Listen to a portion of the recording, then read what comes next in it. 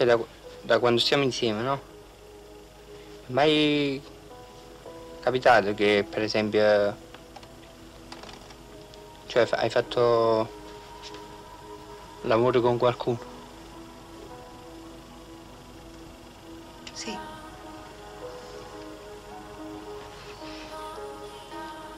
Perché non parli? Niente. Eh, eh, dici? Sei geloso? No.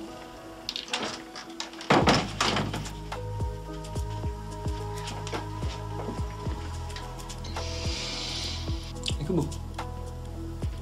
Scusa Marta, co- come si chiama quello che ha inventato la penicillina? Fleming. Fleming. C'è qualcosa che mi lega con forza a Massimo Troisi, al di là delle mie origini familiari partenopee, al di là della mia passione per il teatro di Pirandello e di Edoardo De Filippo. Forse è quello che gli studiosi chiamano il dramma del vedersi vivere, che in Pirandello era spesso angoscia, ma che, nella versione napoletana, si trasforma in sottile ironia e rassegnazione positiva in Edoardo e in comicità dirompente in Troisi. La matrice è sempre la stessa, ma l'output, come si dice oggi, molto diverso e affonda le radici in quella consapevolezza malinconica dell'assistere alla propria vita con la visione distaccata ed esterna di chi è abituato a riflettere e all'introspezione che così spesso riesce ad ottenere. Così si spiega il mio personale forte feeling con la comicità tagliente di Troisi, che graffia appena i più distratti, che guariscono con una risata, ma incide in modo profondo nelle carni e nell'anima per chi ama cogliere gli aspetti più profondi della vita.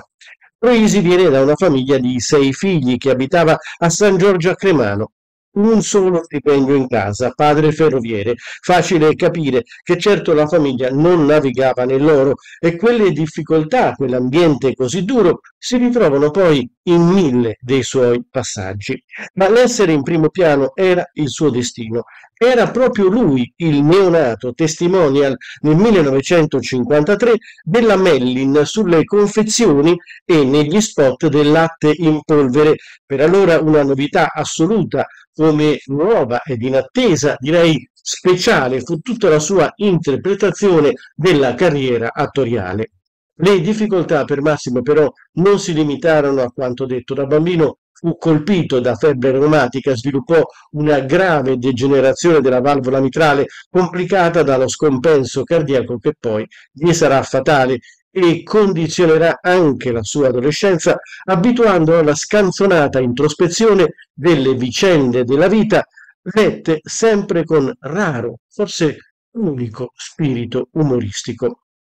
Ancora adolescente, vinse un premio di poesia ispirata alla figura di Pierpaolo Pasolini. La sua poi fu un'ascesa continua sino alla consacrazione televisiva prima e poi nel 1981 con il ricomincio da tre quella naturalezza, quelle espressioni del viso che parlavano di qualsiasi testo resero alcune sue interpretazioni leggendarie e alcuni concetti ripresi poi nel linguaggio comune non può dimenticare la sua lettura personalissima del comune sogno della guerra.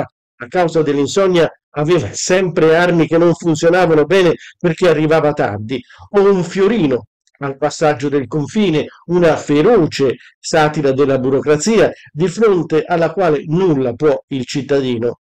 Oppure lo sforzo del ragazzo napoletano di apparire moderno e non geloso di fronte alla confessione di un tradimento o l'annuncio del ricordati che devi morire, infine la sua lettura amara e rassegnata dell'amore per una Beatrice nel postino. Roisi morì a soli 41 anni il 4 giugno del 1994, esattamente 30 anni fa, ad Ostia. La causa fu un attacco cardiaco. Il giorno prima aveva terminato la sua ultima pellicola, Il postino, per la quale sarebbe stato candidato ai premi Oscar come miglior attore e per la miglior sceneggiatura non originale nel 96.